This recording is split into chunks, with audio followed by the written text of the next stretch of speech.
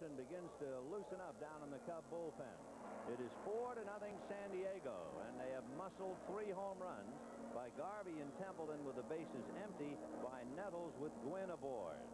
So the Cubs try to get off the floor now with Ron Cey, followed by Shawon Dunston, and then we'll see about a hitter, possibly for Scott Sanderson.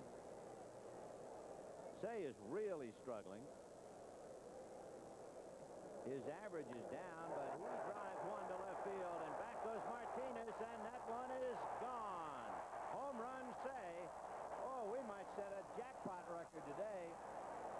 the first home run that Thurmond has allowed this year, and believe me, it figured.